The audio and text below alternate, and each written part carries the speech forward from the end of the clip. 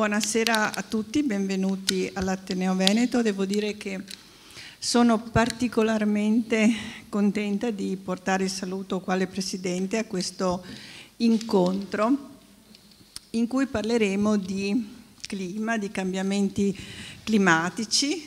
Ne parleremo col professor Barbante che ha diciamo, sulle spalle plurime spedizioni in varie parti eh, del mondo e anche con Zanetti che invece ci parlerà del clima della nostra mh, laguna. Dicevo che sono particolarmente contenta perché nel, nel programma del mio quadriennio di presidenza ho ritenuto di dare un più giusto e più ampio rilievo al sapere scientifico. Le dicevo prima che i soci dell'Ateneo una volta erano proprio divisi in classi, c'erano dei soci, metà dei soci appartenevano alle scienze umanistiche e metà proprio a quelle scientifiche. Questa divisione in classi ha perso ormai significato, ma il sapere scientifico eh, no. E sono particolarmente contenta perché ehm, di clima e di cambiamenti climatici si parla forse delle volte a sproposito e altre volte in termini un po' terroristici. A sproposito perché si danno delle notizie che forse non hanno un fondamento eh, scientifico in maniera terroristica perché sembra che, eh, voglio dire, da, ci siano da questi mutamenti climatici o da questo inizio di mutamenti climatici, sembra che ci aspetti, come dire, la fine, la fine del mondo. Quindi abbiamo bisogno di persone serie, di persone che conoscono la materia, che hanno sperimentato sul campo le indagini per effettuare una corretta divulgazione. E quindi saremo qui a sentire il professor Barbante che ci racconterà delle sue biblioteche di ghiaccio. Mi è molto, mi è molto piaciuta questa, questa definizione. Noi abbiamo su una importantissima biblioteca di libri e lui invece ha delle informazioni che ci vengono dalla lettura del ghiaccio, infatti scritto nel ghiaccio è il sottotitolo del suo libro. Quindi grazie Barbante, grazie Zanetti e buon ascolto a tutti. Comincio io, buonasera Adriano Favaro. Ho la fortuna di conoscere questi due signori. Michele si è messo lì dall'altro lato estremo da molti anni e aver fatto alcuni percorsi, chiamiamoli così, intellettuali, scientifici eh, la parola scienza è una delle cose che raccontiamo sempre con molta difficoltà. Fecero un'indagine una volta in una grossa città tedesca e volevano fare un museo e gli esperti del marketing dice sì sì fatelo il museo ma non scrivete la parola scienza perché già quella come i numeri allontana una parte, una parte della gente è un po' forse anche colpa nostra che non abbiamo eh, avuto il giusto approccio a delle cose che invece in passato erano formidabili. Eh, che cosa fa Carlo Barbante? Mm, ha un rimpianto perché legge il gazzettino con l'iPad e non può più utilizzarlo per asciugare gli scarponi quando sono bagnati di neve. E mi ha fatto sorridere questa battuta che ci scambiamo qualche tempo fa al telefono perché eh, dico, to guarda come anche l'informazione modifica i nostri comportamenti. I scarponi servono sempre. Si veste come un orso di rosso, di blu, di giallo e assieme ad altri suoi colleghi, decine, alcuni italiani, eh, finiscono per ogni tanto tre mesi al Polo Sud, che non è una vacanza, non si può classificare come tale. Lui eh, insegna a Ca' Foscari, ma guida per il CNR, un progetto speciale per il Polo Sud e da tempo è anche il responsabile di una decina di, di, paesi che con i loro scienziati sono impegnati, ci parlerà di questo, in un grande progetto di ricerca che è anche finanziato, dobbiamo dirlo, con una trentina di milioni di euro, non sono tantissimi perché solo spostarsi è molto costoso, ma che dovrebbe portare a una cosa, dare la certezza che siamo finiti in un pantano tra virgolette, dal quale difficilmente riusciremo ad uscire come, come umanità, come Homo sapiens. E dovremmo fare in fretta perché in passato i cambiamenti, eh, Carlo ce lo racconta, i cambiamenti climatici ci sono sempre stati, glaciazioni, caldo, freddo, eh, successe, è successo di tutto. Anche adesso l'abbiamo fatto il cambiamento, rischiamo però di non tornare più indietro e non sappiamo più dove stiamo andando. Questa è la grande differenza. Tutto è sempre cambiato, adesso è cambiato così in fretta che i freni non li possediamo più e se anche ci fermassimo, ne parlavamo prima con uh, Michele Zanetti, Michele Zanetti è a suo modo un esploratore, ma guarda sempre i propri piedi, cioè controlla il territorio dove è nato, dove vive, nella zona di Porto Gruaro del Veneziano, con una forma singolarissima e racconta tutto e quindi avremmo, eh, la Presidentessa ha detto, beh, uno che legge il, il, grande sistema mondiale e un altro che queste cose le vede ogni cinque eh, stagioni, ogni due, ogni tre e capisce come sono i cambiamenti. Nei nostri dialoghi Carlo Barbante diceva, beh io ho sciato nel Monte Avena, pochissimi sanno dov'è, non c'è più neve nel Monte Avena, anch'io ho fatto le prime discese a San Vito, e la pista di risalita era a fianco della stradina prima di San Vito sulla destra. Non c'è più pista, non c'è più niente, hanno costruito case, non si sono mica fermati a lasciare lì bosco. Quindi ci rendiamo conto che nella metà della nostra esistenza ci sono stati dei cambi portentosi. Se questi cambi continuano, eh, dobbiamo stare molto attenti. Sentivo stamattina le previsioni dell'IPCC e beh, se va bene, entro 80 anni i mari si alzano di un metro? Metro e mezzo? Eh, sa, un metro e mezzo vuol dire che saremo tutti seduti sull'acqua e che probabilmente dovremo cominciare a chiedere a Carlo o a, a Michele se ci ospitano a Portogruaro o a Feltre, perché a Venezia sarà difficile fermare il mare. Carlo Barbante. Eh, grazie mille, grazie Adriano della, della bellissima introduzione.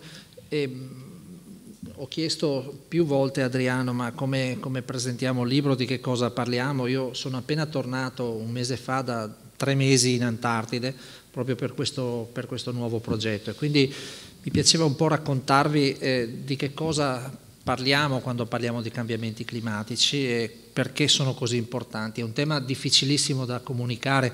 Eh, Pensate che dall'era, uh, dal periodo industri- uh, dalla rivoluzione industriale la temperatura del pianeta è aumentata mediamente di circa un grado e mezzo. Ma un grado e mezzo è meno della differenza di temperatura che c'era da stamattina ad adesso. Quindi, eh, la rivoluzione industriale fine del Settecento? Esattamente, ma stiamo parlando di temperature medie e stiamo parlando poi appunto medie vuol dire mediate su tutto il pianeta.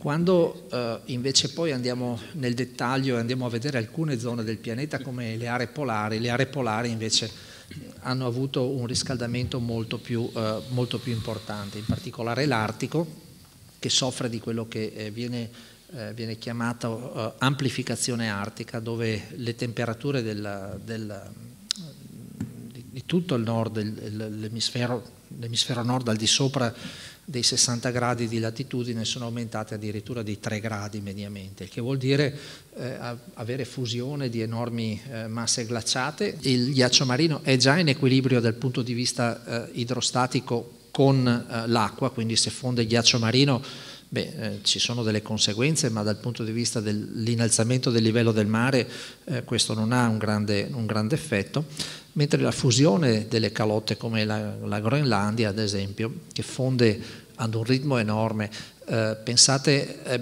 si fondono circa 400, cioè la, l'acqua di fusione che proviene dalla Groenlandia è equivalente a circa 400 piscine olimpioniche riempite ogni minuto. E questo ogni minuto ed è tantissimo il contributo solo della Groenlandia nell'innalzamento del livello del mare di quasi un millimetro all'anno, eh, a cui sommiamo l'Antartide, a cui sommiamo tutti poi i ghiacciai delle aree non polari, eh, arriviamo oggi ad avere un contributo di innalzamento del livello del mare di, di quasi 4 mm, 4 mm all'anno ogni anno, quindi eh, moltiplicatelo per 10, moltiplicatelo per 100 e questo vi dà l'idea della gravità del problema. Ma sono temi, quelli legati ai cambiamenti climatici, molto difficili da uh, comunicare, come dicevo, proprio perché parliamo spesso anche di, eh, appunto, di, di, frazioni di grado, parliamo di eh, concentrazioni di anidride carbonica in parti per milione, che anche questo è un tema veramente difficile, Cosa, cos'è una parte per milione e perché eh, quando passiamo da, da, 350 parti per milione a 400 parti per milione abbiamo delle differenze così, così catastrofiche. Quindi eh, sono temi delicati, eh, ma eh, non possiamo più parlare di cambiamento, dobbiamo parlare proprio ormai, ormai di crisi climatica e, e per capire bene quello che sta accadendo eh, dobbiamo un po' guardarci indietro. Eh, nel nostro passato, eh, quindi in quello che è accaduto decine, centinaia, ma anche milioni di anni fa, c'è molto del nostro futuro, perché la Terra ha sperimentato in maniera diversa delle situazioni che possono essere abbastanza simili a quelle che stiamo vivendo adesso. Beh, devo dire, così simili, così, eh, simili a quella attuale eh, proprio no, ma ehm, livelli di concentrazione di gas serra così elevati e temperature così elevate la Terra le ha già sperimentate. Per darvi un'idea, eh, dobbiamo andare indietro nel tempo circa 2 milioni di anni per trovare delle concentrazioni di anidride carbonica simili all'attuale. Due milioni di anni fa eh, noi non c'eravamo, l'Homo sapiens non era ancora eh, presente nella, nella Terra. C'erano eh, ominidi. Sì, c'erano nostri lontani antenati. Il, ehm, il, ehm, il, livello del mare era decisamente più elevato di adesso e la temperatura era di circa 6 gradi più elevata di adesso. Eh, siamo veramente oltre i limiti, eh, oltre i confini planetari di un sistema che è all'equilibrio. Per gli ultimi eh, milioni di anni il nostro sistema ha oscillato sempre entro dei, dei confini planetari no? che sono dati dalle ere glaciali e interglaciali, quindi dai periodi freddi e dai periodi caldi che si sono alternati a, a seguito di, di, variazioni orbitali, quindi della posizione della Terra rispetto al Sole, di quanta energia arriva. E abbiamo sempre oscillato entro qui dentro e anidride carbonica e, eh, e altri gas serra e temperatura hanno sempre avuto tra di loro un, un, un interlink, un, un, legame molto Vuol dire che non è colpa nostra o non è stata colpa degli umani? Allora non era colpa nostra, ma eh, quindi eh, ci sono dei meccanismi naturali che regolano tutto questo. E beh, adesso stiamo però uscendo da questi confini, stiamo andando veramente verso delle delle, delle eh, concentrazioni di, di, gas in atmosfera che sono decisamente molto più alte. Eh, se eh, il tutto si è mantenuto entro questi, questi confini di, di, di, anidride carbonica, beh, oggi siamo a valori che sono addirittura il 40% più elevati dei valori più elevati che abbiamo mai registrato negli ultimi due milioni di anni e questo è tantissimo, ha un riflesso dal punto di vista dell'aumento di temperatura veramente molto, molto importante. Oggi ehm, vi do un, solo due numeri, nel corso dell'ultimo milione di anni le concentrazioni di anidride carbonica sono sempre oscillate tra 180 e 280 parti per milione, prendetela come due numeri, 180 e 280. Oggi siamo addirittura sopra le 400 parti per milione e nessuno qui dentro, nessuno vivo oggi sul pianeta vedrà mai la concentrazione di anidride carbonica scendere nuovamente al di sotto delle 400 parti per milione. Abbiamo superato una soglia planetaria veramente eh, fuori da ogni eh, confine, se vogliamo. Mi ricordo che negli anni Ottanta i giornali locali pubblicavano, c'ero anch'io, pubblicavano le quote mm, settimanali delle parti per milioni e ad arrivare vicino a 300 parti per milione sembrava la fine del mondo. Anche, nascevano nuovi sentimenti ambientalisti no? e adesso tranquillamente alle Hawaii sono 410, 420, quindi è un allarme che non è stato ascoltato. Vi, vi, vi, dicevo appunto che nel nostro passato c'è molto del nostro futuro, no? noi impariamo molto a leggere questi archivi. Eh, lo storico eh, analizza le, le, le, fonti storiche, va nelle biblioteche, negli archivi, eh, all'archivio storico e, e, segue i documenti, ma le fonti scritte, sapete bene, a un certo punto si fermano, si fermano perché sono deteriorate, perché eh, no, non, non si trovano allora gli archeologi scavano eh, e, e, trovano altre, altre informazioni e, e, noi, noi paleoclimatologi andiamo indietro nel tempo cercando di leggere questi archivi che il, la natura ci, ci, lascia, ce ne sono molti, non è solo il ghiaccio che riusciamo, che riusciamo, a leggere, riusciamo a interpretare questi segnali che spesso sono segnali chimici e fisici che ci portano a ricostruire, come vedete in questo grafico che vi cerco di spiegare adesso, eh, ci consentono di costruire la, la storia eh, climatica del nostro pianeta, questo addirittura per 60 milioni di anni, quindi dei, dei periodi lunghissimi.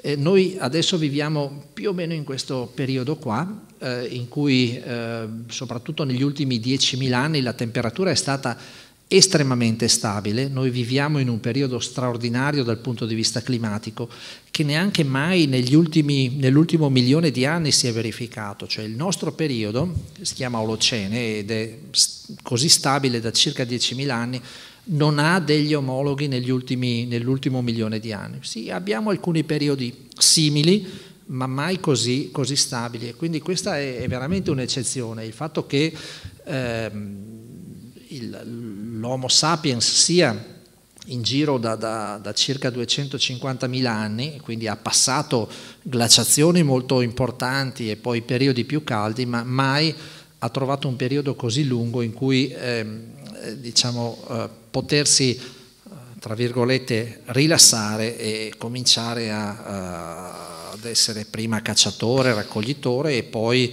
agricoltore e, ehm, e coltivatore. Questo è stato un, un, un passaggio molto, molto, importante nella transizione, nella, nella eh, rivoluzione di fatto eh, agricola e poi, e poi, così via.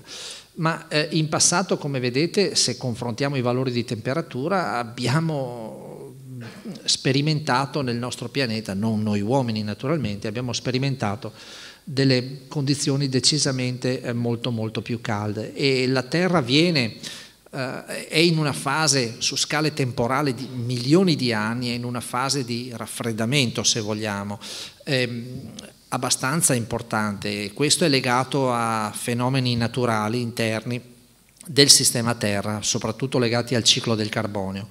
Ma quello che sta accadendo, e sta accadendo in maniera estremamente rapida, è proprio questa accelerazione del ciclo del carbonio che l'uomo sta dando con l'emissione di, di gas serra in atmosfera eh, che ci potrà portare nel giro di pochissimi anni, eh, quindi di decenni o di qualche centinaia d'anni, di nuovo a dei valori di temperatura che abbiamo sperimentato magari 60 o 70 milioni di anni fa, con valori di temperatura in cui addirittura non avevamo le calotte polari, eh, quindi l'Antartide non c'era, la, la, calotta groenlandese non c'era e quindi tutta quest'acqua era completamente fusa e completamente eh, dispersa negli oceani con eh, degli eventi, con delle variazioni eh, di livello di medio mare che vi lascio, vi lascio, immaginare, quindi addirittura 70 metri in più di, eh, di livello del mare. Ecco, molte di queste informazioni noi le estraiamo dalle, dalle carote di ghiaccio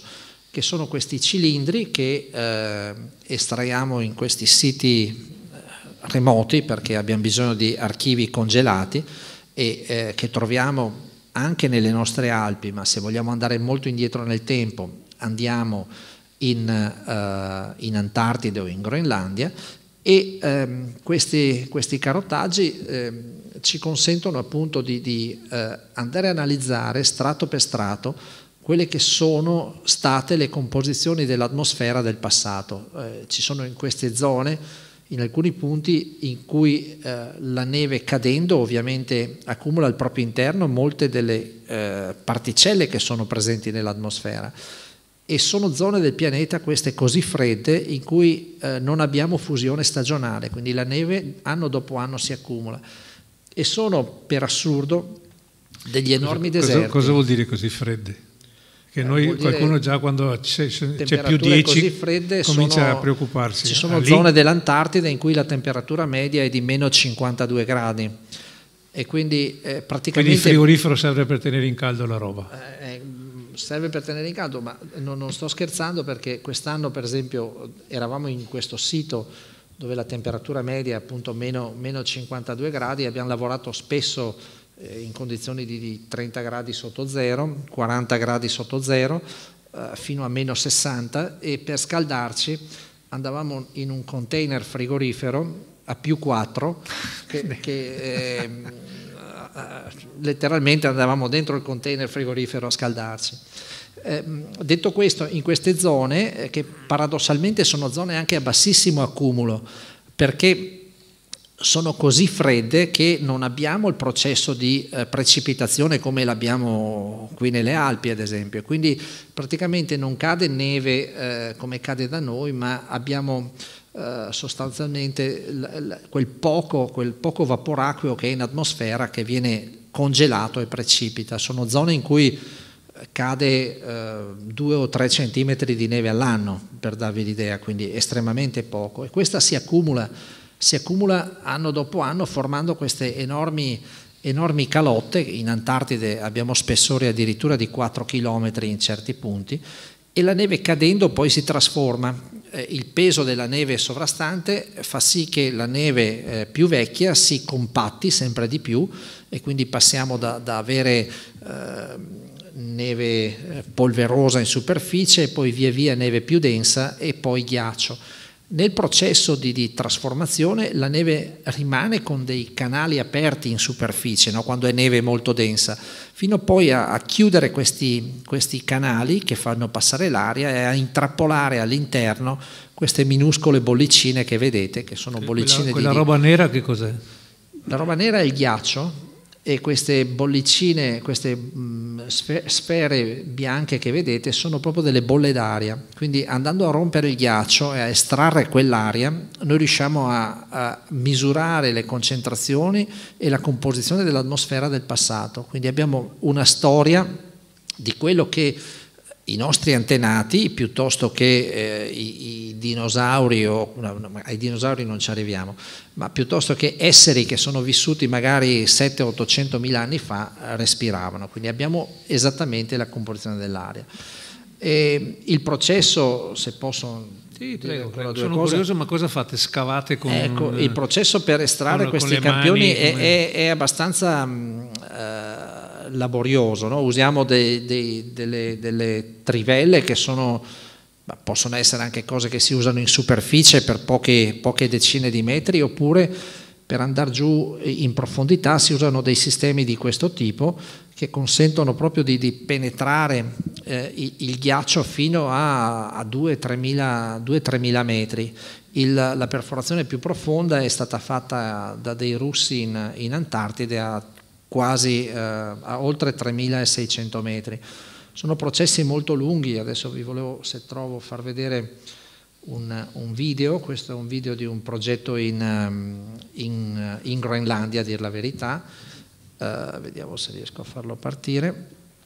Eh, in Groenlandia abbiamo anche in questo posto eh, più di 3 km di ghiaccio, lì non si lavora in superficie perché paradossalmente è troppo caldo, cioè può, può andare vicino allo zero e quindi i campioni si possono fondere, quindi si lavora all'interno di trincee scavate nel ghiaccio dove la temperatura media è costante intorno ai meno 30.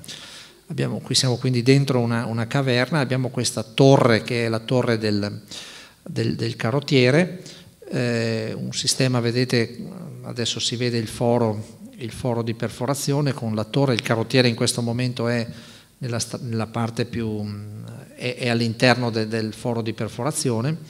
Qui la temperatura, vedete, queste sono celle frigorifere che, che funzionano al contrario, cioè dentro sono riscaldate e fuori la temperatura è fredda.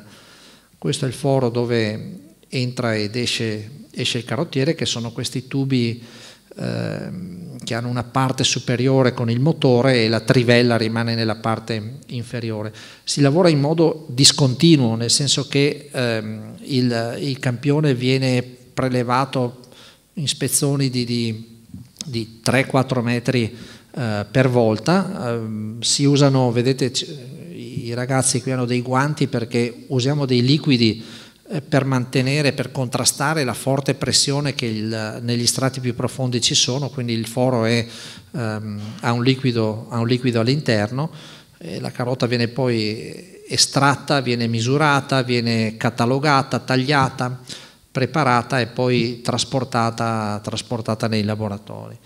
e, e le informazioni che otteniamo sono, sono, veramente tantissime. Questo vuol dire che alcuni pezzi di quelle carote sono anche qui a Venezia?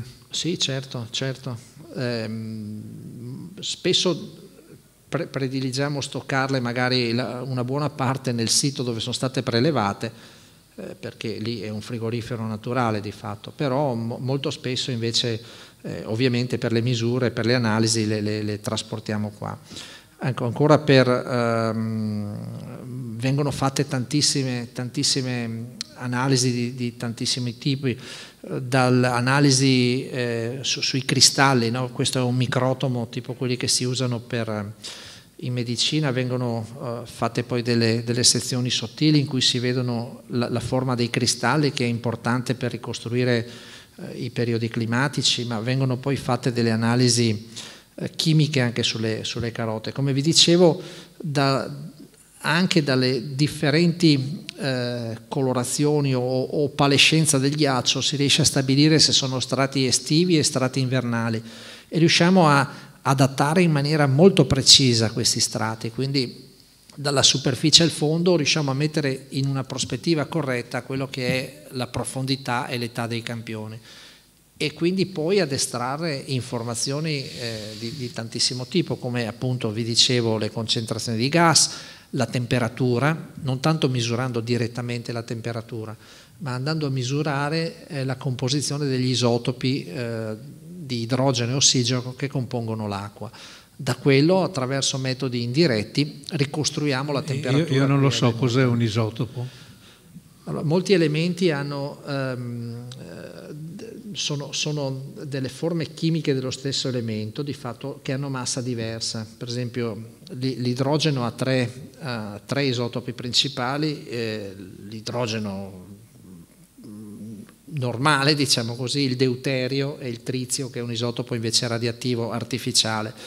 Ecco, in natura l'acqua può essere composta da, da, per la maggior parte da idrogeno, chiamiamolo idrogeno 1, ma alcune molecole sono anche composte da idrogeno pesante, eh, che è un, un, elemento, è sempre idrogeno, chimicamente si comporta come l'idrogeno, ma ha un, un, un, neutrone in più, diciamo, insomma, è un po' più pesante. Ecco, a seconda di quanta acqua pesante e acqua leggera troviamo nel ghiaccio, e riusciamo a stabilirlo in maniera molto, eh, molto accurata, riusciamo a stabilire eh, qual era la temperatura quando quella neve è precipitata.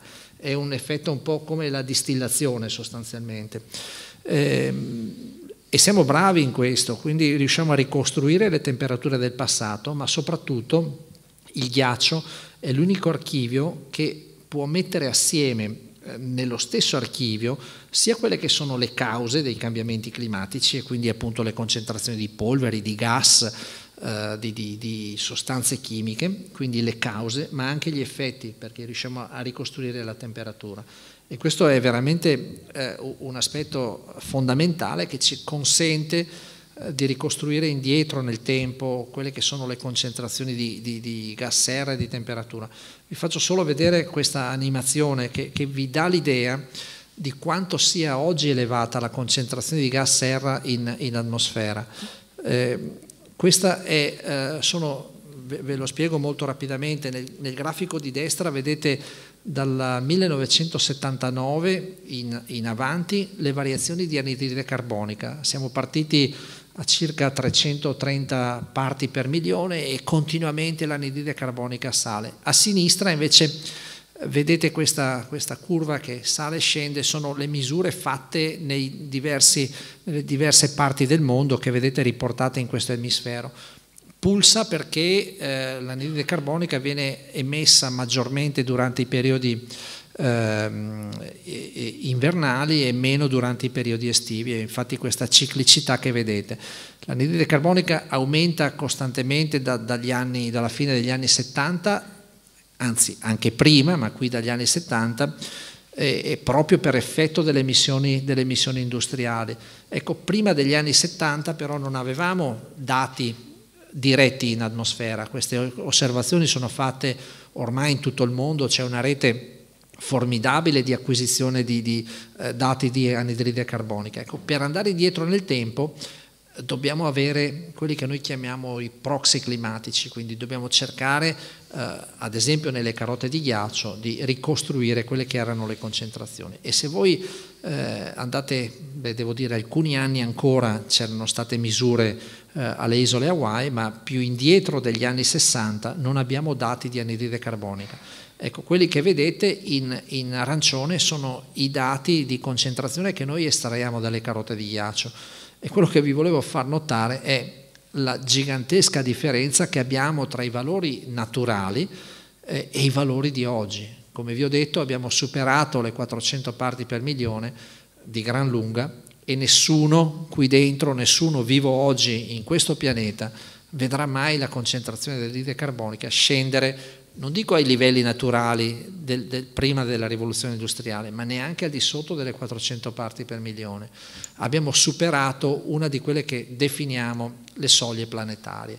Queste sono le variazioni di cui vi parlavo prima, queste variazioni naturali nel corso degli ultimi 800.000 anni e queste sono le concentrazioni che abbiamo oggi. Quindi, Quindi voi scendendo di un chilometro e mezzo se non sbaglio, grosso modo. Eh, scendendo di 3 km, di 3 in questo km. caso qua andiamo indietro nel tempo 800.000 anni. E il progetto è, mi dicevi, di adesso, andare più in fondo ancora adesso, più, più adesso, adesso abbiamo installato un campo qui a, a, a, in Antartide, questo è un po' il, il, layout del campo dove eravamo fino a, un mese fa. In questo caso eh, vorremmo andare indietro nel tempo ancora più di 800.000 anni, vorremmo trovare ghiaccio di un milione e mezzo di anni e sappiamo da, dai rilievi geofisici che abbiamo fatto che la stratificazione lì eh, ce lo può consentire. Andare indietro un milione e mezzo di anni non è solo un, il doppio di, di 800, cioè, che è già, è già qualcosa, ma tra un milione e mezzo di anni e 800.000 anni fa il sistema climatico del nostro pianeta ha cambiato modo di lavorare, ovviamente per questioni completamente naturali. È cambiata l'ampiezza delle variazioni ed è cambiata la frequenza. Ecco, non riusciamo a capire bene a che cosa è legato scusa, questo. Carlo Barbante, come fate a dirlo? Lo diciamo perché eh, non siamo gli unici che fanno questo lavoro. Cioè non c'è solo la, la lettura del ghiaccio? No, ci sono i paleoceanografi che vedono ad esempio queste oscillazioni dai sedimenti marini, ma non riescono a ricostruire nei sedimenti marini le concentrazioni dei gas. Loro vedono le variazioni, ma non sanno qual è la causa. Allora, nel ghiaccio noi, come dicevo prima, riusciamo a capire le cause e a vedere gli effetti. Ecco, è per questo che è importante trovare ghiaccio così vecchio in Antartide, è per questo che eh, noi stiamo facendo una corsa assieme a, a, altri sei competitors che sono i coreani, gli australiani, gli americani, i cinesi, i giapponesi e, gli australiani, eh, che eh, tutti stiamo cercando il ghiaccio più vecchio. Noi da, da, abbiamo questo progetto che, che è partito ormai da, da, da un paio d'anni, quest'anno effettivamente, perché l'anno scorso siamo stati anche noi bloccati dal Covid, abbiamo installato questo campo, abbiamo iniziato la, la, la perforazione.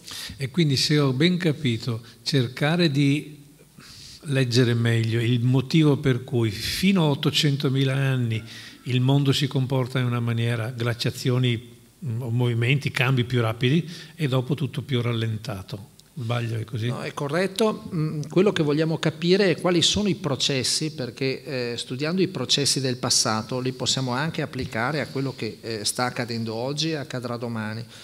E infatti uno degli altri aspetti eh, importanti nell'andare a vedere le carote di ghiaccio e studiare il passato è quello che noi oggi molto spesso per eh, prevedere o meglio eh, fare delle eh, proiezioni su quello che succede domani, eh, dobbiamo avere dei modelli climatici. I modelli climatici sono delle equazioni matematiche eh, che descrivono quelli che sono i parametri principali, temperatura, umidità del futuro. Ecco, eh, però bisogna vedere se questi funzionano e, e quanto bene funzionano. Ecco, per cercare di far questo noi prevediamo il passato, eh, sembra una contraddizione, cioè proviamo i modelli climatici su dati già esistenti e già acquisiti. Quindi noi abbiamo i dati di temperatura, di precipitazione del passato che ricostruiamo dalle carote di ghiaccio, prendiamo i migliori modelli climatici, li testiamo nel passato e se funzionano li utilizziamo per proiettarli verso il futuro. È un processo complesso, però tanto meglio conosciamo i processi del passato, tanto più raffiniamo anche i nostri modelli per prevedere il futuro. Mio nipote ha nove anni, dieci, eh, mi farebbe questa... Dopo che avete fatto tutto questo grande gioco, a cosa serve?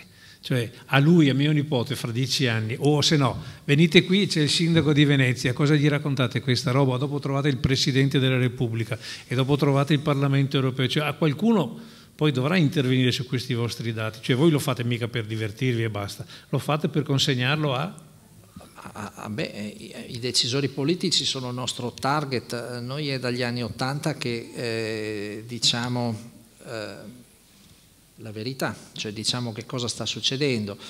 I modelli climatici sono molto molto accurati, ormai riusciamo a, a ricostruire, a, a prevedere, a proiettare quello che sarà il futuro in maniera molto accurata, eh, riusciamo a dire che le previsioni ci portano a capire quanta, eh, quanto ghiaccio fonderà da qui a, ai prossimi 80 anni, 80 anni è letteralmente domani, e, e riusciamo a vedere che l'innalzamento del livello del mare può sfiorare il metro in condizioni normali, ma ci sono anche cose che non capiamo completamente, e questo eh, lo dobbiamo ammettere, ci sono alcune cose che ci fanno dire che eventi eh, poco probabili ma possibili potrebbero portare addirittura da qui a 300 anni a innalzamenti di 7 o 8 metri del livello del mare. Allora è chiaro che anche una città come Venezia eh, deve, cominciare, deve, cominciare, a pensare al proprio futuro, eh, perché 80 anni sono, oh, sono veramente domani e quindi che vocazione vuole darsi questa città? Eh, tutto non potremo salvare, secondo me, non potremo salvare San Marco e salvare la laguna e tutta la biodiversità. Quindi è chiaro che va affrontato anche un dibattito di questo tipo, secondo me, perché non solo a Venezia, eh, ma dico Venezia perché siamo a Venezia, ma, ma eh, il futuro innalzamento del livello del mare ci porrà davanti a delle scelte. Prima di lasciare mm, la parola a Michele Azzarretti che commenterà queste cose una, e dopo lo riprenderemo con eh, Carlo Barbante, ho una curiosità. Ma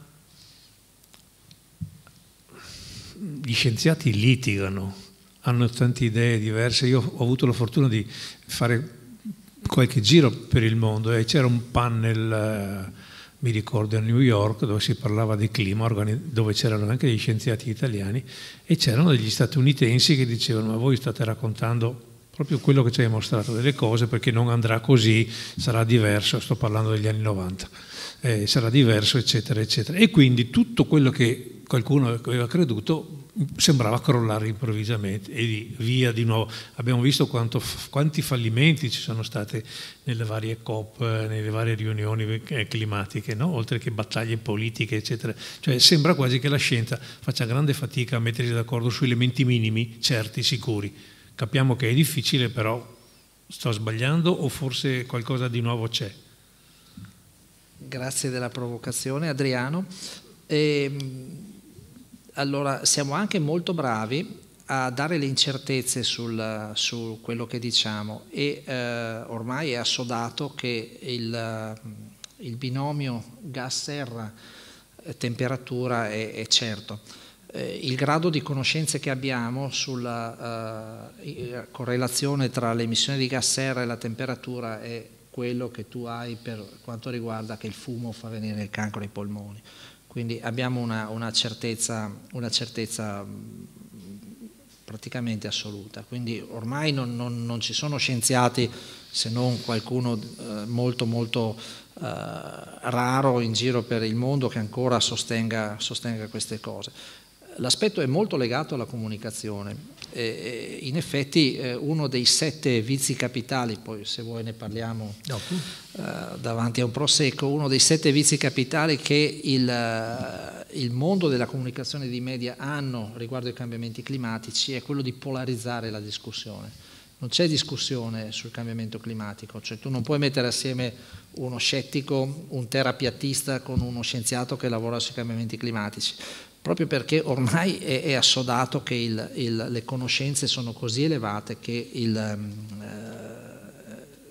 la, la, la, la, scienza va in quella direzione.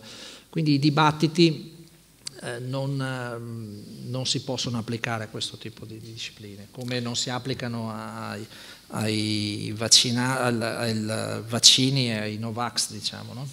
A proposito, hanno fatto i vaccini anche al, al polo, anche lì avete fatto? Sì, io sono stato, ho avuto il booster a, a, in questo posto qua, proprio in questa tenda qui. Prego, prego. Sono stati dei scienziati che sono stati sei mesi nell'Artico di varie nazioni per vedere la trasformazione del ghiaccio tra l'autunno e l'inverno e, sì. e, hanno detto che si potrà passare una, le navi anche nel polo nord. Perché si sta sciogliendo, certo. Sì, certo. Non so se l'ha visto. Beh, ma, sono, sono sì, certo, sono, ma è una cosa... passate queste navi. Allora, beh, ma allora in, a 30 km da questa, da questa base leggera c'è una stazione che si chiama Concordia, dove i ricercatori passano 13 mesi, non, non solo anno, eh, non solo sei mesi, addirittura eh, adesso comincia la lunga notte polare, abbiamo 13 scienziati giù, 13 tra scienziati e logistici che sono, che sono alla base Concordia e fanno esperimenti. Sì, si, si lavora anche per periodi molto lunghi. Dopo continuiamo col dialogo. Metti una pubblicità, fammi vedere come si va vestiti fuori in quel posto lì. Eh, ok, questo non eh, so se ce l'ho. Se prima, intanto, ma... intanto, intanto, cerca. Michele, che, che, effetto fanno a uno scienziato del, della terra, degli alberi, dell'ambiente che sta eh, a guardare nel proprio orto, nel proprio giardino, nel, nei, nei, a fianco dei fiumi, nei campi, eh, tutti i giorni da, da, da, da, quando eri ragazzino e vede probabilmente non guarda così a fondo nel ghiaccio, ma magari non lo vede più il ghiaccio che invece c'era negli anni 60, no? Certo. Ecco, che cosa vuol dire? Cosa, che, cosa, che colpo c'è stato nel nostro territorio? Beh, eh, buonasera a tutti intanto e grazie per avermi invitato a questo interessantissimo incontro. Io ho ascoltato il professor Barbante con, eh, appassionatamente. Diciamo che tra me e lui c'è la stessa distanza che c'è tra uno scienziato e un manovale, tanto per precisare i livelli culturali. Eh, però abbiamo qualcosa in comune di incancellabile, siamo ambedue ufficiali degli alpini, cioè abbiamo frequentato ambedue la scuola militare alpina di Aosta lui vent'anni dopo di me naturalmente, e questo eh, crea un'affinità per cui ci intendiamo alla perfezione. Adriano, mi hai fatto una domanda che può tradurre tutte le osservazioni scientifiche del eh, professor Barbante nella realtà quotidiana. Cosa vediamo noi del riscaldamento globale in atto intorno eh, alla nostra quotidianità? Chi sa osservare e chi è attrezzato culturalmente per cogliere i segni di questi fenomeni può vedere moltissimo. Ora, ehm, quando 15 anni fa il professor Zandi Giacomo dell'Università di Udine ci segnalò la presenza di Selisiotemis nigra, una piccola libellula nordafricana di colore nero, bellissima tra l'altro, a Bibione, beh, eh, prendemmo la cosa come uno degli indizi di ciò che stava accadendo. Ora, loro signori non hanno idea di cosa significhi l'incremento di temperatura. Significa il mutamento di uno dei parametri fondamentali dell'ambiente, il che induce la messa in moto di gigantesche biocenosi, cioè di giganteschi complessi di specie che cercano, migrando, situazioni più idonee alle loro esigenze ecologiche proprio per effetto del mutamento di temperatura. In sostanza la migrazione sud-nord ha fatto sì che Crisolina americana, un piccolo coleottero parassita del rosmarino che ho cominciato a trovare in giardino ancora dieci anni fa, sia arrivata dalle coste del Nord Africa all'Inghilterra, al Regno Unito. Se questo non è un indizio e se questo diciamo, viene interpretato come semplicemente un incidente biologico, allora non siamo in grado di leggere eh, i segnali che il fenomeno produce. Ma un giorno camminando sull'argine di Lio Piccolo trovo una pianta, Reseda alba, che non l'avevo mai visto, non l'avevo mai vista in quel contesto. Ovviamente la identifico e verifico che si tratta di una pianta termofila distribuita fino al Po. Lio Piccolo è più a nord del Po. Questa pianta era migrata spontaneamente, come fanno gli organismi vegetali, perché gli animali si muovono con gli individui, gli organismi vegetali si muovono con i semi, aiutati dal vento, ma i semi attecchiscono se ci sono le condizioni ambientali idonee per le esigenze di quella specie. E quella specie termofila è riuscita ad attecchire sugli argini di Lio Piccolo perché il microclima era cambiato. Ma se noi andiamo nei boschi di grava del fiume Piave, dove appunto si affollano tutte le piante alloctone dei giardini circostanti, se andate nella golena di San Donato vi troverete un orto botanico esotico incredibile, spontaneo. Ci sono caprifoglie del Giappone, ci sono falsi mori della Cina, gelsi cinesi, robinie nordamericane, ma c'è l'alloro che sta diffondendosi in misura impressionante e l'alloro è un sempreverde tipicamente mediterraneo. Non potrebbe sopravvivere se non ci fossero inverni caldi come quello che abbiamo appena vissuto. Stiamo aspettando che ci dicano, ancora una volta, che questo è stato l'inverno più caldo degli ultimi 150 anni. Ora, Giustamente Adriano citava prima il Monte Avena e la pista di sci che non esiste più, ma nemmeno in, Consiglio lo sci ha mai funzionato vero. e sul Nevegal eh, devono spendere quantità di energia notevolissime per creare l'innevamento artificiale delle piste. Questi sono indizi che messi insieme eh, ci propongono un quadro profondamente mutato, ma siccome la vita dell'uomo è breve, noi abbiamo 80 anni sostanzialmente, quindi siamo testimoni che devono necessariamente fare riferimento ai dati storici per eh, verificare cambiamenti di tipo epocale. In questo caso noi abbiamo la percezione nella nostra brevissima vita di aver visto, di aver assistito, di essere stati testimoni di questi cambiamenti. E questo francamente è qualcosa che impressiona. Ora, lo dico sempre quando parlo di questi argomenti, eh, qui non è tanto il cambiamento, l'innalzamento della temperatura che spaventa, ma sono i tempi in cui questo fenomeno si manifesta, cioè a dire tempi ridottissimi.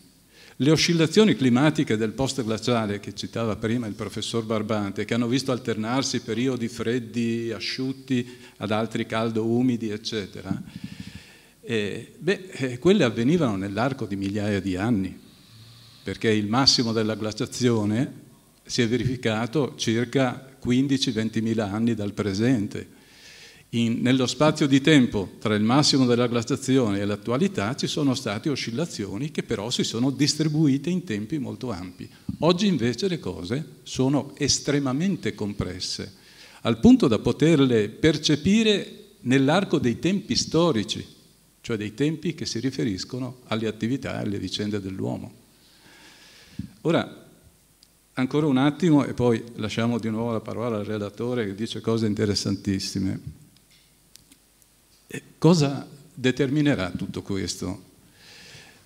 Beh, l'airone guardabuoi, che è una sorta di gallina grande così che somiglia a una garzetta e che è arrivato dall'Africa avventurosamente, non per effetto del cambiamento climatico, ma resiste agli inverni lagunari e nidifica tranquillamente in laguna. Ormai ce ne sono migliaia di individui perché il clima è mutato. L'ibis sacro africano, quello degli egizi, avete presente quell'uccellaccio col becco curvo, bianco e nero? Ecco, ce ne sono ormai anche di quello centinaia e centinaia di individui che nidificano con successo, riesce a superare l'inverno senza problemi. Ma io la prima volta lo vidi in Kenya nel 1985. Qui siamo a Venezia, siamo nella laguna di Venezia, che i giapponesi ritengono essere una laguna troppo fredda per l'allevamento ittico, cioè la valdicoltura necessitava storicamente, adesso non la pratica quasi più nessuno, delle peschiere di sverno, cioè di vasche molto profonde in cui stabulare il pesce allevato nei mesi invernali, perché sul fondo di queste vasche la temperatura è di qualche decimo di grado in più rispetto alla media della superficie e il pesce sopravviveva. Si trattava di specie marine, orate, branzini, cefali e quant'altro.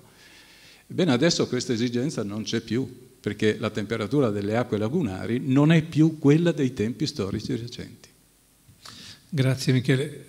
Il titolo è Non sappiamo più chi siamo a questo punto, però continuiamo a cercare di conoscere.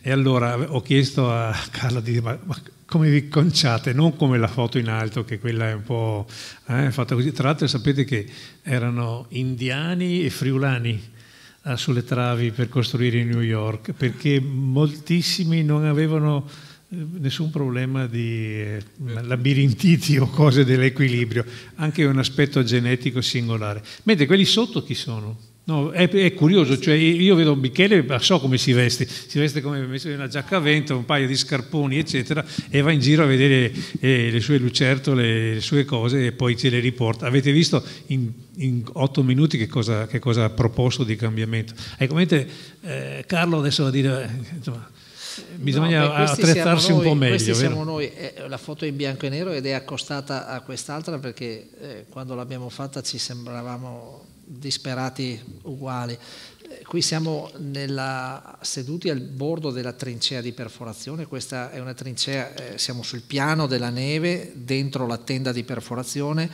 e qui è dove poi abbiamo installato il, il carottiere. Eh, questa trincea scende per 8 metri, il carottiere bascula lì dentro e, e stavamo per cominciare a, a a incamiciare la parte superficiale della perforazione. E tenete conto che qui dentro siamo a meno 35 gradi e mm, siamo ben vestiti, la foto è in bianco e nero solamente per fare il pari a quella qui sopra, ma le condizioni erano di lavoro molto molto, eh, molto dure.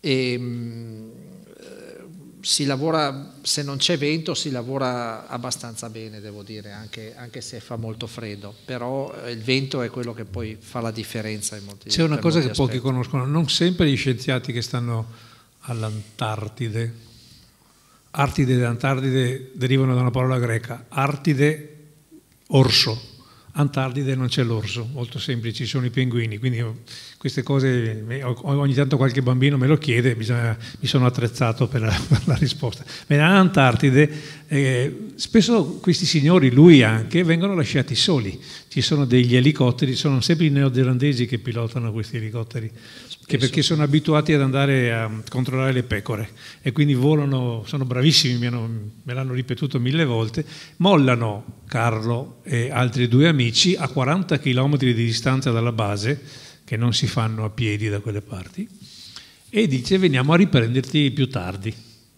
Ma No, beh, in genere tornano. ma, genere tornano. ma, con meno 50 uno dice, stai, ma, torna appena puoi. Perché... Però è chiaro, quest'anno per esempio mi è successo, mentre stavamo chiudendo il campo, di essere rimasto per un giorno intero assieme a Calogero, che è questo uh, Calogero Monaco, che è un incursore della, della Marina, anzi un, un geniere e siamo rimasti lì perché ormai il campo si stava per svuotare, dovevamo fare dei trasporti, quindi ehm, altri quattro sono andati alla base Concordia che è a circa 35 km e siamo rimasti io e Calogero e, e soli, cioè l'altro, il primo essere umano più vicino era appunto a Concordia a 35 km, a tre ore di, di Gatto delle Nevi. E ci guardavamo e dicevamo ma siamo io e te da soli qui e, e la cosa è, è, un po' strana perché non, è, non, succede spesso di essere così isolati anche nel posto più remoto che noi possiamo avere in, in Europa, a meno che uno non sia in mezzo al mare da solo, eh, non, è, non, è, facile essere a tre ore e mezza dalla, dalla persona più vicina. Però devo dire che insomma, mh, siamo abbastanza abituati. Ho capito, ma... O, o rassegnati, insomma, vedi tu. Vabbè, ma eh, se quello non veniva, voi vi fate una no, buca beh, sul lì, ghiaccio? lì abbiamo, abbiamo, un sistema molto ben, ben, ben, strutturato. Il campo che vi facevo vedere ha uh, delle tende, queste sono delle tende dove, dove, dormiamo, che sono riscaldate all'interno. Abbiamo un gruppo elettrogeno, abbiamo oh, tende riscaldate a, con delle stufe questa è una tenda ricreativa. Ma quando vi lasciano in giro voi avete delle risorse sì, no, no, siamo, sì, altro che, no, no, siamo ben, ben, attrezzati.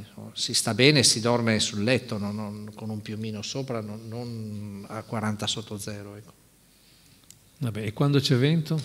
Quando c'è vento è, è, è, tutto più difficile, eh, se si lavora all'interno, per esempio questa è la tenda di perforazione che, di cui vi parlavo prima, che si vede anche in questa, in questa slide qui, è una tenda lunga quasi 30 metri, e, protetti dal vento va bene, la temperatura magari è di meno 30, meno 55 se si lavora dentro questo, questo foro che vedete, il vento fuori invece fa la differenza, proprio toglie, toglie il respiro, toglie, toglie, la forza proprio. Infatti non si resiste per molto tempo a, a, con il vento di, di, 10 nodi, che insomma sono 15 km all'ora, che è una cosa, un vento primaverile, lì ti mette in ginocchio. Se, se non sbaglio voi siete stati in un periodo in cui c'è sempre luce. Sì. sì. E come si fa a capire se è giorno, sera, a parte gli orologi? No, ma mm, ti accorgi che è sera perché non, non stai più in piedi da quanto stanco sei e mm, ti devi dare delle, delle, delle cadenze. Noi avevamo, si lavorava sette giorni su sette, domenica pomeriggio magari un po' rilassati. Eh, però dalle sveglie alle 7 si cominciava alle 8 meno un quarto a lavorare fino alle 12.30 con una pausa in mezzo e poi di nuovo una e mezza 19 e poi alle 8 e mezza eravamo tutti orizzontali. Il menù? Ottimo. avevamo uno dei, dicevo prima alla Presidente, eh, quest'anno non avevamo il medico in campo ehm, perché siamo un po' al limite tra una base remota e un, una, un satellite della base principale. Generalmente la tendenza eh, non sto scherzando, è quella di portare un cuoco che sia anche medico d'urgenza. Eh, non è sempre facile, eh, quindi ci adattiamo. Quest'anno avevamo un, il responsabile del campo che era un ottimo cuoco di, di eh, Emiliano, la nonna aveva una trattoria e quindi eravamo una botte di ferro. Salvi. Sempre mangiato molto bene. E si dorme, a parte la stanchezza? Cioè... Bisogna tener conto che il sito lì è a 3200 metri di quota, che essendo ai poli, con lo schiacciamento dell'atmosfera, c'è una quantità di ossigeno come quasi a 4000 metri. Quindi tutto è un po' difficile, eh, ma devo dire che si dorme, a parte i primi giorni, quando si è catapultati da, dalla, dalla, costa fino al, al plateau in, in tre ore primi giorni è dura, è dura dormire. Io ti ho mandato un paio di mail, tu dopo un po' mi hai risposto, quindi contrariamente a qualche decennio fa c'è un modo di comunicare, di stare al mondo nonostante le difficoltà di quel luogo. No, beh, eh, devo dire che anch'io dalle prime, volte, dalle prime volte che andavo negli inizi anni 90 dove telefonavo a casa una volta ogni dieci giorni e il costo di, mi ricordo era di, di tipo 15 euro al minuto per telefonare.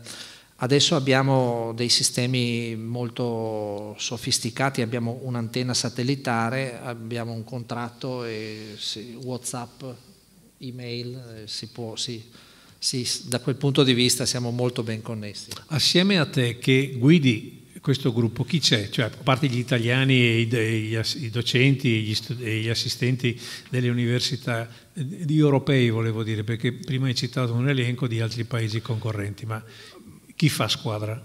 Ma abbiamo un gruppo molto consolidato, sono dieci nazioni, adesso sicuramente ne dimentico qualcuna, ma, ma andiamo dalla Germania, la Danimarca, la Francia, eh, il Belgio, l'Italia, l'Olanda, la Norvegia, la Svezia, la Svizzera e mm, la Gran Bretagna. Eh, abbiamo circa 200 ricercatori che lavorano intorno al progetto, è un progetto che complessivamente tra la fase di di survey per trovare il posto no? che, che, ci ha impegnato negli ultimi cinque anni, adesso per l'installazione del campo e poi la perforazione è un progetto che complessivamente dura eh, dieci anni con, con, 200 persone di fatto che, che poi ci lavorano a diverso, a diverso, con diversi incarichi. In campo quest'anno eravamo in parte scienziati, in parte logistici, perché proprio dovevamo attrezzare ancora il, il sistema di perforazione e tutto. Quindi eh, si va da, dal professore eh, che, che, il professor Stoker, per esempio, che era con me in campo, che è stato uno dei, dei co-chair de, dell'IPCC che hai citato prima, quindi un, un professorone, al meccanico che, che, però ti risolve i problemi perché ti, ti fa vivere lì e tutti, tutti assieme si lavora e si, con questo obiettivo comune. Tra te e il lavoro di Michele c'è una grande differenza, che i vostri documenti finiscono nei governi dei paesi che hanno messo del loro denaro per cercare di capire e di leggere qual è l'avventura del nostro recente passato e quella che potrebbe essere quella del futuro. E invece della domanda che faccio a Michele, beh, conoscere tutte queste cose che ci hai detto e poi a chi le consegni? Vai da un sindaco, vai da un assessore, cioè l'elemento è, bene, sappiamo che cosa sta cambiando, stiamo lì a guardare o fai i salti di felicità come qualche amico che dice vabbè adesso il vino lo possiamo produrre anche 300 metri più in alto, nel Bellunese non c'erano vitigni, probabilmente adesso piantiamo prosecco anche qua, cioè c'è un grande elemento di economia positiva qualche volta, ma anche molto negativa. Non sta piovendo da quattro mesi? Beh, l'agricoltura quest'anno non sarà come lo scorso anno e poi quando dovremo comprare la verdura la paghiamo, cioè paghiamo questo clima, eh? è tutto nelle nostre tasche. Questo voglio dire, cioè, si, facciamo abbastanza per... Lui ha messo sotto accusa la divulgazione un po' schizofrenica, un giorno piove, un giorno no, eccetera. È vero, eh, abbiamo tutte le nostre responsabilità e non paghiamo abbastanza per questa incoscienza, però quando uno sta lì e dice adesso lo devo dire a qualcuno, che risposte hai avuto? Cioè 40 anni, quanti sono? 50 del tuo eh, lavoro, delle tue documentazioni, del tuo... Ecco, mentre vediamo il giro in aereo che Carlo si fa ogni tanto per atterrare o, o no, Questo è un drone, questa ah, è un'immagine di un drone de, del... Adesso vedete il campo come, come era allestito. E, e quindi che cosa significa eh, ho io ho un'impressione netta che, che, dopo la grande cosa degli anni Ottanta dell'Amazzonia, alcuni mov movimenti internazionali, non so voi, ma ci siamo un po' smarriti. Signori, la situazione è sconfortante. Potrei dirvi con una battuta che ciò che scopriamo noi l'è scritto sul jazz che vuol dire che quando il ghiaccio si scioglie, ciò che abbiamo scoperto, abbiamo documentato, non esiste più. Non ci sono interlocutori in sostanza, ma quando il professore parlava poco fa e diceva appunto che eh, la sua organizzazione scientifica poi fa riferimento ai governi delle maggiori potenze del mondo, eh, mi veniva in mente ma chi sono gli interlocutori dall'altra parte? Ci sono governi che hanno lavorato decenni per negare i cambiamenti climatici. Per caso sono gli stessi che adesso dovrebbero raccogliere questi input e tradurli in politiche per contrastarli? Ci hanno detto che gli alberi dovrebbero salvare il pianeta fissando la CO2. Beh, ogni anno ne bruciamo miliardi. Disboschiamo l'Amazzonia, bruciamo la Siberia, bruciamo l'Indonesia, vi rendete conto di come stanno le cose? Per cui effettivamente la nostra buona volontà, non parlo ovviamente del lavoro degli scienziati che è un livello decisamente più elevato, la nostra buona volontà eh, finisce per non lasciare tracce. Come Associazione Naturalistica San Donatese, che quest'anno compie 48 anni, e che presiedo appunto da altrettanto tempo, abbiamo documentato i mutamenti della biodiversità ter territoriale dal 1998 al 2022. I nostri bollettini avevano annuali, con tutte le osservazioni più importanti scientificamente documentate, avevano una tiratura di 50 copie e qualcuna ci rimaneva pure in magazzino. Quest'anno abbiamo deciso di sospendere questo lavoro. Cioè, a chi diamo questi dati?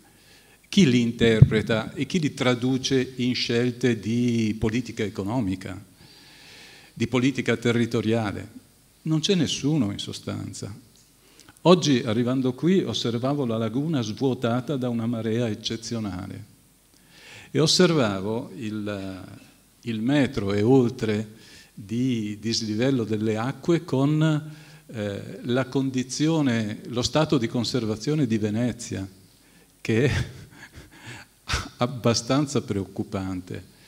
Nei canali c'era acqua nera, con le gondole che si proponevano ai turisti su un rigagnolo d'acqua. Per cui è una crisi globale che eh, ha raggiunto, a mio avviso, ma ce l'ha detto anche il professor Barbante a riguardo del clima, eh, condizioni di non ritorno.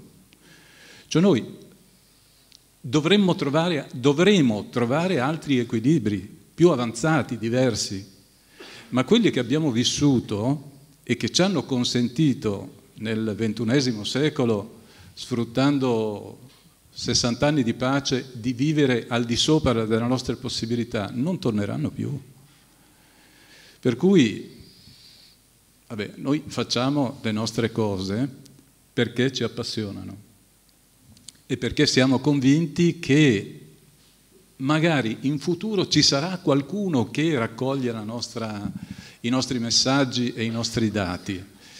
E tra l'altro adesso c'è il web, questa gigantesca macchina globale che eh, immagazzina tutto però eh, non lo facciamo con la speranza che il nostro, per quanto modestissimo contributo alla conoscenza, possa incidere anche minimamente sulla realtà. Questa l'abbiamo abbandonata ormai. Io sono convinto che possiamo dedicare ancora dieci minuti del nostro tempo a delle domande a Carlo Barbante e a Michele Zanetti se si vuole. Eh, sono certo che qualche curiosità possa arrivare. Scusa, eh, sulla laguna Veneta ha inciso gli scavi di grandi canali prima e del Mose adesso? E cambiamenti? Posso dire una cosa? Sì, cioè, ha inciso sul fenomeno della marinizzazione della laguna che era già stato innescato dai veneziani con le diversioni fluviali e che è stato enfatizzato con le escavazioni delle grandi vie d'acqua che portano giganteschi volumi di acque marine ad ogni evento di marea all'interno della laguna. Ha inciso in questi termini in sostanza, cioè l'ecosistema lagunare è mutato da una condizione salmastra a una condizione prossimo marina. Cioè c'è più sale? È che la laguna è zeppa di organismi alloctoni che sono arrivati negli ultimi 50 anni, tra cui alghe, laminari gigantesche, la Undaria pinnatifida, è un processo appunto di esotizzazione della biocenosi lagunare dovuta al fattore antropico, cioè al travaso di organismi tra i continenti favorito dall'uomo. Vi cito dieci parole che forse avrete già sentito le acque diventarono sangue e poi il mondo fu riempito di zanzare e dopo le zanzare arrivarono le mosche e dopo morì il bestiame e poi si riempirono gli animali e gli uomini di ulcere e poi ci fu una grandine che coperse tutto il suolo e poi arrivarono cavallette e locuste e il cielo si fece tenebra. Poi morirono i primigeniti. L'avete già letto, sentito, sono le dieci piaghe d'Egitto. A dire la verità, solo l'ultima è considerata una piaga, le altre sono fenomeni. Bene, sono fenomeni ambientali, se voi leggete un libro di Camuffo che è L'uomo e il clima, ve li spiega tutte, le alghe, le cose eccetera, eccetera, sono tutte successioni e l'Egitto non è scomparso, noi non siamo scomparsi per questo, poi la Bibbia lo ha raccontato nella sua maniera letteraria, a dire che ci sono sempre stati le crisi i cambiamenti. Probabilmente Adesso non possiamo più permetterci altre crisi di cambiamenti perché potrebbero essere le ultime, però io voglio essere fortunato ogni tanto qua, e, e felice e speranzoso. Ogni tanto vado a vedermi le ultime cene a Feltre, del santuario di Vittorio Corona, mangiavano gamberi di fiume e anche a San Polo di Piave. Vuol dire che vivevano in un clima splendido e straordinario. I gamberi non ci sono più. Grazie, grazie a Carlo e grazie a Michele.